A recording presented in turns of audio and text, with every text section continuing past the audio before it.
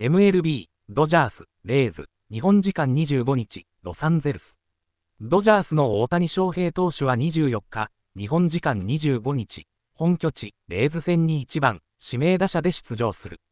2試合連続41号に期待がかかる。画像、まみこさんが撮った写真かな、大谷翔平が試合後に公開した1枚が話題。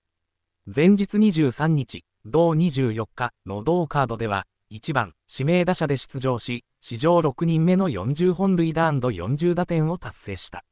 4回に安打で出塁し、先に40盗塁に到達。